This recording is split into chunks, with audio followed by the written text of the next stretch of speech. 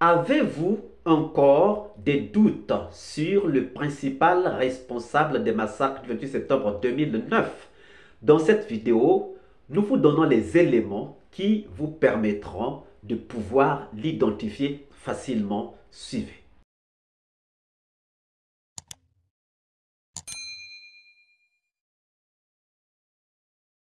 Bonjour, bonsoir, cela dépend de l'heure à laquelle vous regardez cette vidéo.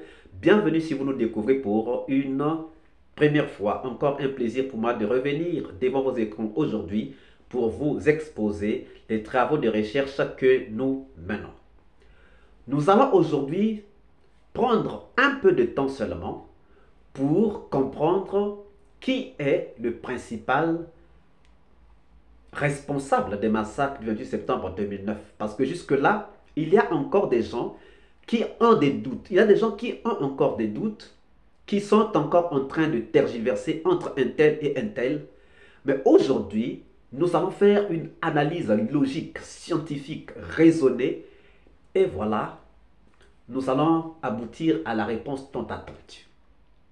Partons d'abord des acquis, c'est-à-dire les points sur lesquels nous pouvons tous être d'accord parce que nous voulons faire une analyse sans préjugés, en abandonnant nos préférences, en abandonnant, en faisant comme si on n'avait pas encore mis son nez dans cette affaire, on analyse, on va aller jusqu'au bout pour tirer une conclusion. Donc, faisons comme si on n'avait pas de préférence envers quelqu'un, faisons comme si on n'avait pas encore étudié cette question et allons-y. Commençons donc par les points sur lesquels nous pouvons tous être d'accord. Nous sommes tous d'accord que les bérets rouges du régiment commando et les recrues de Kalea ont été parmi les assaillants du 28 septembre 2009. On est tous d'accord, je crois. On est tous d'accord que les véhicules de KPC avaient été réquisitionnés au camp Alpha Yaya Diallo et avaient donc servi à transporter les recrues de Kalea vers le stade, alors que les véhicules de la garde présidentielle et aussi un véhicule de commandement de la garde présidentielle avaient emmené les bérets rouges, donc du régiment commando, au stade pour aller commettre ces méfaits. Là, on est aussi tous d'accord. On est aussi tous d'accord que Dadis voulait aller au stade le matin même du 28 septembre 2009 mais que Toumba l'en avait empêché. On est tous d'accord. On est aussi tous d'accord que l'opposition avait organisé la manifestation pour protester contre l'éventuelle candidature de Dadis Camara aux élections présidentielles. Là aussi, on est tous d'accord. On est tous d'accord qu'il y avait plusieurs services de renseignement. Il y avait les services de direction euh, général de service de renseignement qui était dirigé par Cheikh, euh, Sidia Diabaté. Il y avait les services de renseignement de la gendarmerie, le général Balde nous l'a dit. Il y avait les services de renseignement de l'antidrogue, on nous l'a dit aussi. Et il y avait aussi certainement les services de renseignement de la police. Donc là aussi, on est à peu près tous d'accord. On est aussi d'accord que Pivi était le ministre chargé de la sécurité présidentielle. On est aussi tous d'accord que la sécurité du président dépendait donc de Claude Pivi qui en était le ministre de la sécurité. Et nous sommes aussi d'accord que la garde présidentielle faisait partie du régiment commando. Nous sommes aussi d'accord que plus de 150 corps ont disparu. Peut-être dans des morgues, peut-être quelque part. Nous sommes aussi d'accord que des corps, des camions remplis de corps étaient stationnés au camp Samori. Là aussi, on est tous d'accord. Nous sommes aussi d'accord que la gendarmerie voulait faire une enquête, mais quelle enquête a été arrêtée? Le général Baldé nous l'a dit, donc devant le tribunal. Nous sommes aussi d'accord que le stade avait été nettoyé au lendemain des événements du 28 septembre 2009. Nous sommes aussi d'accord que la formation des recrues de Kalea avait été arrêtée ou écourtée quelques semaines avant les massacres du 28 septembre 2009. Nous sommes aussi d'accord que les recrues de Kaleya ont été logés au camp Alpha Yaya Diallo où vit le président quelques jours ou quelques semaines avant donc les manifestations du 28 septembre 2009. Ça, c'est au niveau des acquis. On est tous d'accord sur ces points. Sinon, on est à peu près d'accord sur ces points. Maintenant, passons au à la deuxième étape. Après tout ce que nous avons vu, après ces acquis, nous comprenons que la personne responsable des massacres du 28 septembre 2009 était capable, capable d'arrêter la formation des recrues de Kaléa. Cette personne était capable d'arrêter la formation des recrues de Kaléa. elle était capable de loger les recrues de Kaléa au camp Alpha Yaya Diallo où vivait le président Dadis Kabara sans que cette personne ne soit inquiétée. Cette personne avait aussi la capacité donc de mobiliser les recrues de Kaléa et les consigner au camp, mobiliser les véhicules de KPC et les véhicules de la garde présidentielle pour transporter les recrues de Kaléa et les bérets rouges du régiment commando au stade. Cette personne était aussi capable de mobiliser les bérets rouges du régiment commando. Cette personne était aussi capable de mobiliser un véhicule de commandement de la présidence de Dadis Camara. Cette personne était aussi capable de mobiliser les gens et les véhicules militaires pour aller ramasser les corps.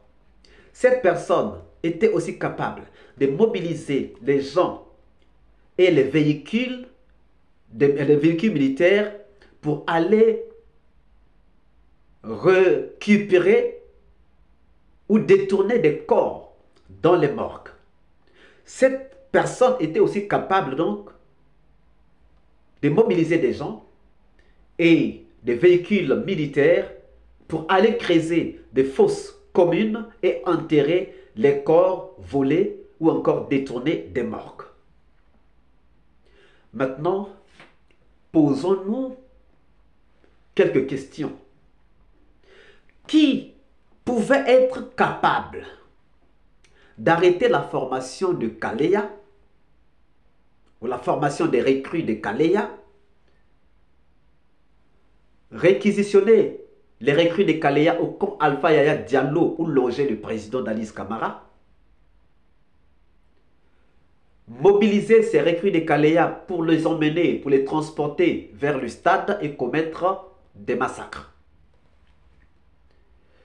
Posons-nous encore la question de savoir qui était capable de pouvoir mobiliser les bérets rouges du régiment commando, régiment qui était chargé de faire la sécurité autour de Dadis Camara, mobiliser ces gens, les emmener au stade, commettre des crimes sans que cette personne ne soit inquiétée. Posons-nous encore la question de savoir qui pouvait avoir la facilité de mobiliser les véhicules de KPC et les véhicules militaires, les utiliser pour transporter des assaillants au stade sans que cette personne ne soit inquiétée par qui que ce soit. Posons-nous encore la question, qui pouvait avoir cette capacité de mobiliser des gens, d'aller donc dans les morgues, peut-être casser les portes des morgues, ou encore influencer les directeurs ou directrices des morgues, retirer des corps et aller creuser des fosses communes, enterrer ces corps dans des fosses communes. Posons-nous encore la question.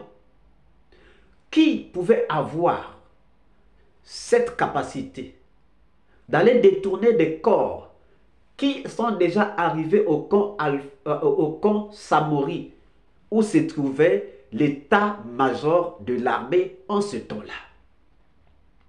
Qui pouvait donc avoir cette capacité. Est-ce que c'est Toumba? Est-ce que c'est Marcel? Est-ce que c'est Sekouba? Est-ce que c'est Dadis?